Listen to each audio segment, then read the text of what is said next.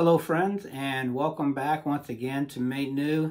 I'm your host, Timothy Lloyd, and I am so excited to continue our series this week on the cost of discipleship. We've uh, really been diving into Mark chapter 8, and we're going to stay in that uh, chapter uh, today as well. Last week we looked at self denial. The week before was we looked at some of the misconceptions uh, when it comes to uh, discipleship and the cost of it, and and we really wanted to look at the cross. So this week we're going to get into that a little bit deeper. And so if you have your Bibles and you turn to Mark chapter 8, and we're going to go to verses 34 and 35. And this is Jesus talking. And then he called the crowd to him along with his disciples and said, Whoever wants to be my disciple must deny themselves and take up their cross and follow me. For whoever wants to save their life will lose it, but whoever loses their life for me and for the gospel will save it. So we look at the, we look at these verses and we looked at self-denial last week, and this week we want to really get into um, surrendering our self-will. When I read this, I see that I have a choice. That taking up uh, the cross actually has a choice. That you know, I, I, can make that choice whether I want to take it up or I don't want to take it up. And I have learned in, in my life uh, that all of my choices have uh, consequences, good and bad. Every choice that I've ever made has some kind of consequence. And there's, there's nothing different about that with this right here. That there is a consequence whether I pick it up and there's a consequence of whether I don't. So I want to really get into why there has to be a cross even to begin with.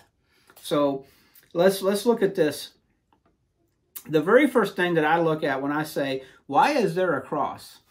Um, you know, because it why why do I have to pick it up? Why why anything when it when it comes to this you know? I absolutely love what jesus did for me when it, when we talk about the cross when we talk about calvary that he laid down his life for me so that i might uh, have a, a, the, my relationship with his, with the father could be restored. Because before that you know we're, we're in sin and sin is separation. It's a separation of our relationship with god. And without jesus making the sacrifice that he made, it would be impossible for me to have the relationship with my father that I have today.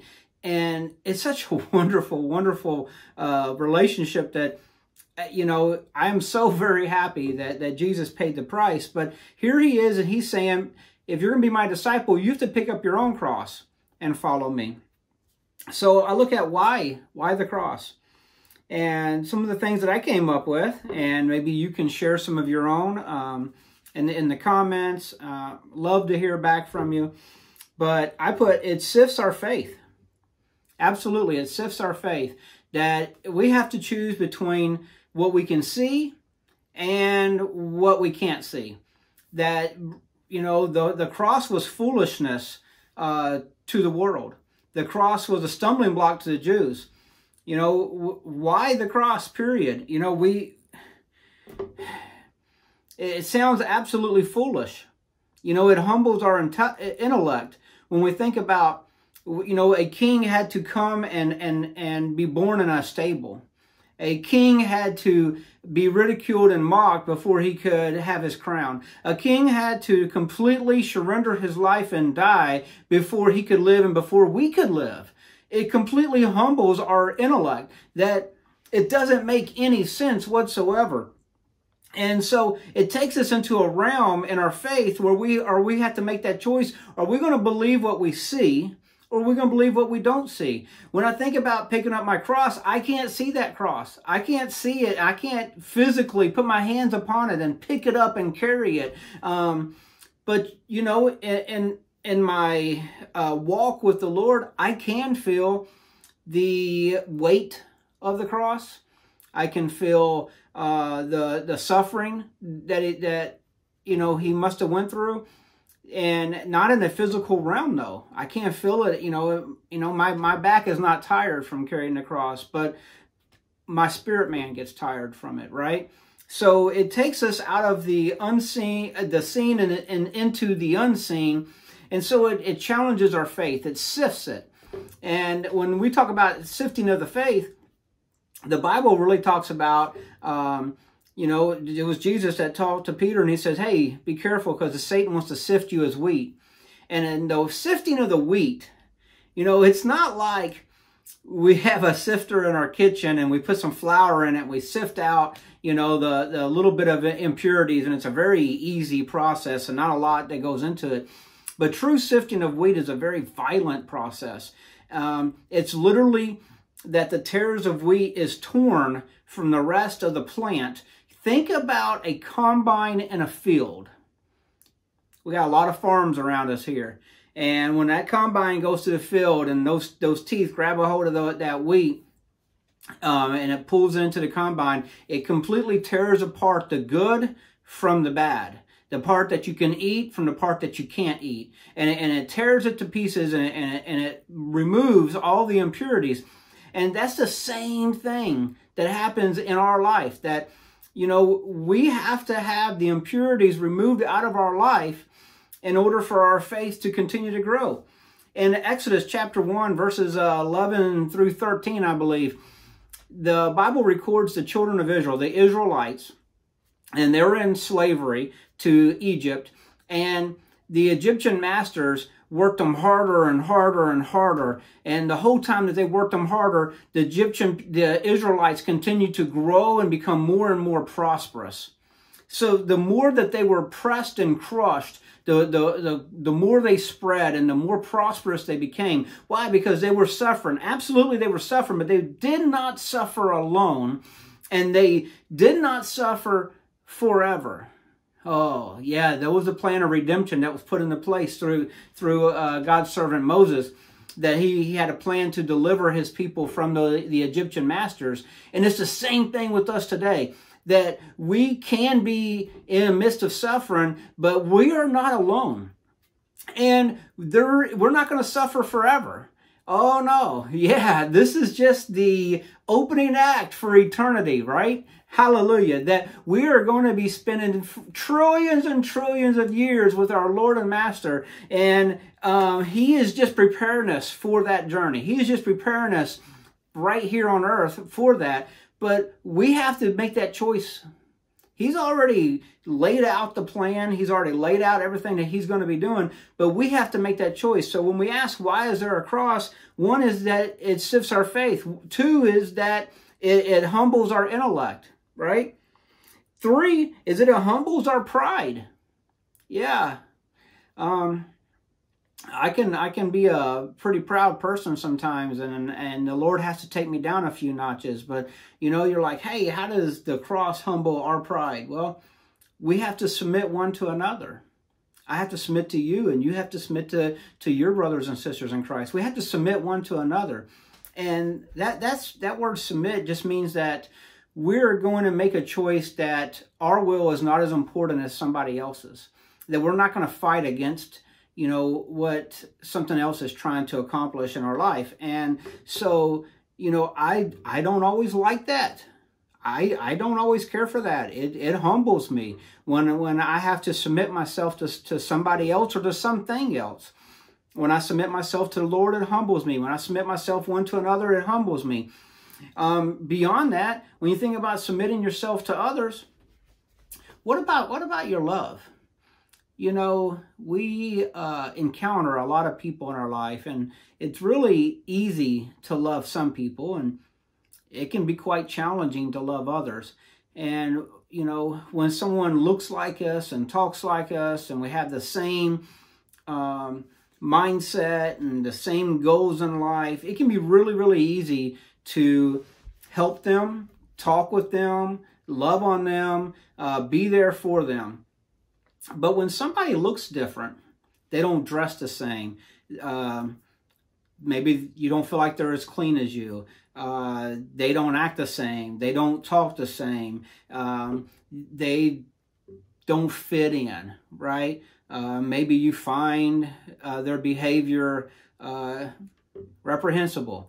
Uh, you you fill in the gap that someone that doesn't fit your mold of what you think um, a brother or sister in Christ should look like, or let's go a step farther, somebody that you don't think is a productive member of society,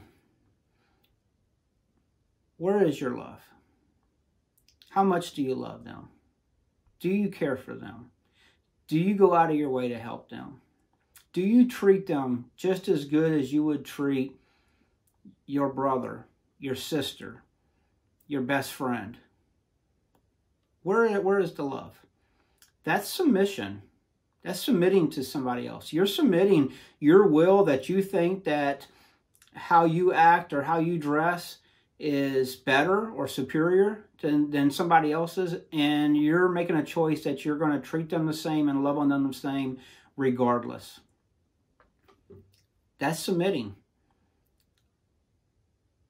When, when you give of yourself to somebody that can't give back to you, when you give of your hard earned money to someone that can't repay you, when you give of your time that it's pretty precious to you because you've worked all week already and now you're them more of your time. That that's submitting. And so that means that we have to humble our pride. That means that we're we're going to surrender our self-will from what we want to do for somebody else. That's submitting to that's submitting one to another. That's what that looks like. Isn't that what Jesus did for us? Didn't he give everything for us? He gave of his time. He he gave of himself. He he gave of he he gave up the the even having earthly belongings. He gave up his very life so that you might be free, so that you could hear the good news, the gospel that we have a way of escape, that we can have a relationship with, with God our Father, that, that we can spend those trillions and trillions of years in paradise. He gave of himself so that we might know this. And he's just, he's asking us, pick up your cross and follow me. You do the same thing I did. You, these works that you see me do, that's what I want you to do. It, there's a cost to being a disciple of Jesus there's a cost that we have to pay for it. And picking up our cross is part of that. Picking up our cross also makes us indebted to Christ. We owe him. And we don't like to owe anybody. I don't. I don't want to owe anybody anything ever. I hate taking out any kind of loan. Uh, it, it just something about it, right? Maybe we're going back to the pride piece right here. But I don't want to have to owe anybody anything, but I owe Jesus. I owe Jesus everything. And the cross made sure of that because I have not went through anything compared to what he went through for me. Part of what he went through was shame. And if we're going to be per, uh, picking up our cross, then we have to prepare ourselves to be shamed because of it. That's part of the deal. Shame comes with it. We, we look at uh, social media, we look at news, we think about our neighbors, and we wonder, you know, where is all the godly people anymore? And we're, we're like, you know, you can't hardly say or do anything, you know, and if you mention Jesus, then someone has something ugly to say to us. That's part of the deal. That's, that's part of what you signed up for.